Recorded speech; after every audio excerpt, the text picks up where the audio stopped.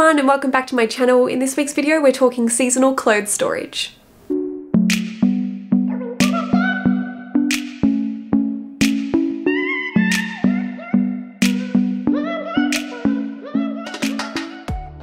Hope everyone's had a lovely week so far. I missed you guys last week because there was a mixture of things that kind of stood in my way of making a video. My cat was very shouty when I was trying to film and my upstairs neighbour is learning how to play medieval flute music and so if you can actually hear it right now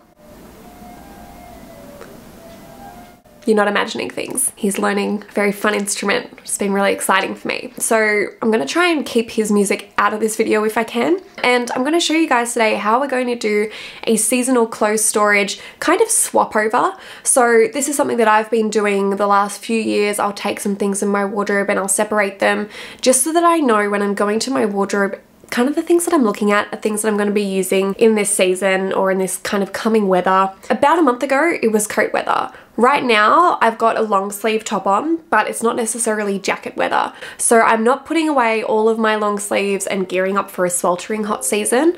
I'm still keeping some transitional seasons in my wardrobe, but I just wanted to show you guys how I do a seasonal swap over. And I wanted to share with you some tips that I've used over the years and tips that I tell my clients that I hope will help you guys when you're doing some seasonal storage for your own clothing ways that you can keep your clothing fresh to stop them from being damaged, to stop mildew from happening, and also just to ensure that when you come back to your clothes, when the weather changes completely again, that your clothes are still in really good shape. So the topics for today that we're going to run over, firstly is the worst ways you can store your clothing. That way you know exactly what not to do. And then next I'm going to talk you through the pre-storage process. So what I do in the lead up to putting my clothes away for a couple of months. And then I'm also going to talk through some products that I think might help you guys. Now this video isn't sponsored. All the products that I'll be talking about are products that I've actually used myself that I really enjoy using and that I've actually found work for me. So I hope this helps you. So we're going to start with the worst ways to store your clothing. These are things that can hurt hurt your clothes, whether you only store your clothes for like three months or can hurt your clothes if you store them for longer than three months. So if you take anything from this video, this first part about the worst ways to store your clothes, this is the part I hope sticks with you. So the first thing we're going to talk about is the dry cleaning bags. So these plastic dry cleaning bags, they actually can get a bit of moisture in them, which will then grow a little bit of mold or mildew on your clothing. So it's always a good idea that if you've gotten something back from the dry cleaners and you thought, I'm going to dry clean my coat so it's good for next season, fabulous first step but get rid of that plastic bag and also take your garment off that wire hanger that they give you at the, at the dry cleaners. Those hangers don't provide much support to your clothing, but I've also seen in some cases where that kind of foamy thing that they put on the shoulders of the hanger, it's usually like a really thin colored foam, that foam can sometimes leave a little bit of a residue on your clothing. I've seen situations where that foam has gotten wet and it's stuck to the clothing and it's left a little bit of discoloration on the clothing. First thing you can do is get rid of that dry cleaning bag and the dry cleaning hanger. Now the next thing is plastic storage tubs. And I know you guys have probably been told over time that plastic storage tubs are great for clothing, but having that plastic around your clothing can sometimes breed a little bit of moisture. If you do decide to use plastic storage tubs, what I recommend you do is you don't overstuff the storage tubs. Where I've seen this go so wrong for people is that they've put their clothes in a plastic storage tub, they've put too much in there, the lid hasn't been on properly and then they've gone and put it somewhere like in their garage or in their basement and it's come back covered in mold, it's got moths in it, it might have roaches in it, it could have a variety of different pests in it, and your clothes end up smelling really musty and mildewy. So I would recommend if you're going to use storage boxes, make sure that you line those storage boxes with maybe a cotton of some sort. So whether you put your clothes in a cotton pillowcase or you separate your clothes into muslin bags, then that is a really good way to store. But I would not just put your clothes in a plastic storage container, not put the lid on properly, overstuff it, and one other thing you want to make sure is that when you're storing your stuff, if you're going to store it in a plastic storage container, that it is not in a damp environment. So if your garage gets a lot of moisture in it, don't store it in the garage. Now the next one is those vacuum storage bags that kind of suck all the air out of the bags and your clothes end up being like this high to being like this high. Those bags, as popular as they've been, and even though you can buy them in so many different storage places, they're not very good for your clothes long term. And by long term, I mean really more than a month or two Because these bags don't allow air to circulate around your clothing, particularly on things like cottons, wools, things like that, they don't allow your clothes to breathe. And what that can do is that can permanently disshape your garments and can permanently damage your garments. It'll make them feel a little bit different when you put them back on. So if you have your clothes in these vacuum sealable bags and you've had them stored in there for more than about a month or two, this can really be quite bad for your clothing. So I'd recommend you don't use the vacuum seal bags for your clothes. Now the next one is cardboard boxes. And the reason why you shouldn't use cardboard to store your clothing is because cockroaches love cardboard, but also if the cardboard gets wet, which it is very susceptible, it's a very kind of porous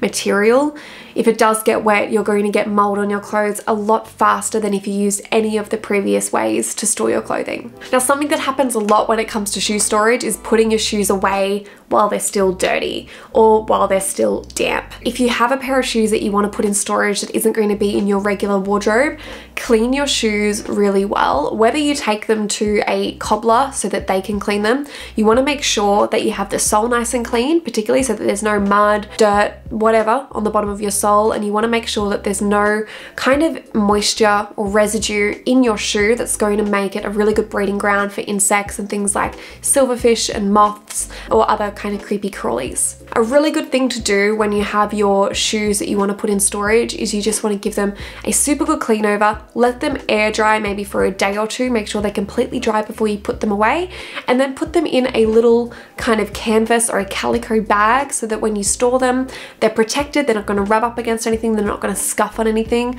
but you're also not worried about opening them up and finding that they've been eaten alive by whatever insects are going to come and get into your shoes. Now the next one is putting your clothing away in storage while it's still dirty. Now this often doesn't intentionally happen. Like we wouldn't go and put a top that smells like body odor or a top that's got a food stain on it in storage because we know that those stains are going to set over time. They're also going to be a fabulous feasting ground for whatever creepy crawlies, mold or mildew that there is around.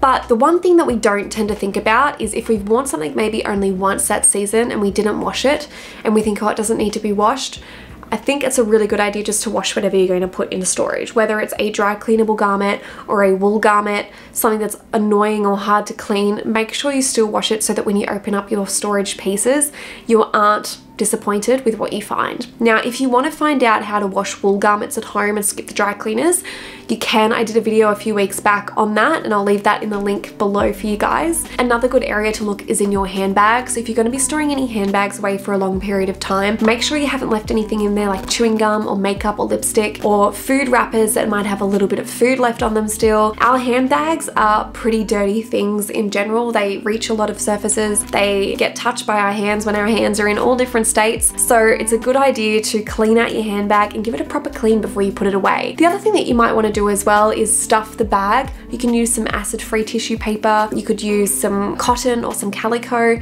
inside that bag just to keep it in its shape so it's not getting crushed when it's stored for a long period of time. If it's leather, when you store it, it's always good to store it in a dust bag so that it doesn't rub up against anything else and so that the leather can still breathe.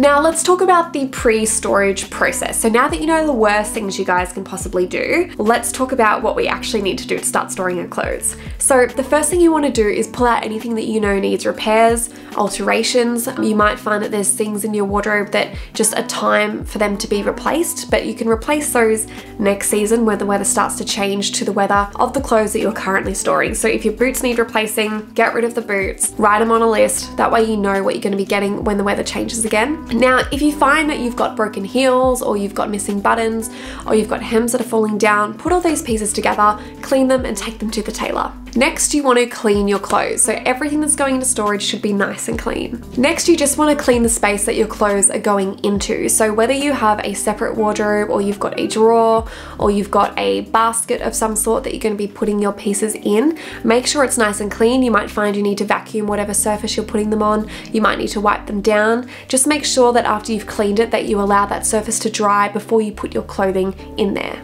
Now, there's a few different ways you can deal with storing your clothing. I know not everyone has ample storage space. I know for me here in Sydney, I need to store my clothes in a little bit of a different way. And you, if you have a spare wardrobe or you've got some space under your bed, you can use those methods. But what I personally do is I store my wools and my scarves and my softer things that need folding. I store those in cotton boxes and they're really good. Now, the other thing that I do, because some of my pieces are a bit too bulky to be storing folded up to be storing them under my bed, I actually just separate my wardrobe. So I go and I put everything that's wintry down one end of my wardrobe and everything that's not wintry down the other end of my wardrobe. And that really allows me to see when I'm getting dressed what I'm going to be wearing that day or what's an available option to me. I also find that having my bulkier pieces up one end of my wardrobe and my not so bulky pieces down the other end, I'm not losing pieces amongst my garments. I'm not forgetting that I've got something just because I couldn't see it. Now, something that you're going to want to consider is whether or not you're going to fold or hang your clothing.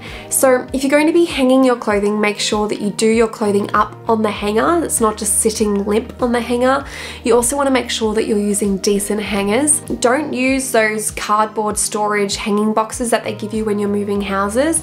Put them in a nice cotton garment bag. Hang similar fabrics together, so your cottons together. If you've got maybe sequin garments or you've got delicate garments, hang them together. If you need to, you can separate your garments with things like acid-free tissue paper or individually put special items in garment bags. Just make sure your garment bags are made of a natural fabric that's breathable. Now, if you want to keep your items hung up and you don't want to have them in garment bags, you can hang them in a wardrobe. Do what I do and just keep them down one end of your wardrobe. If you have things that need to be folded like knitwear or t-shirts, you might have things like jeans, you might even have things like scarves or hats, I would recommend that you fold them. You might want to use some acid-free tissue paper with those. Now, what about products that actually help you keep your clothes nice while they're in storage?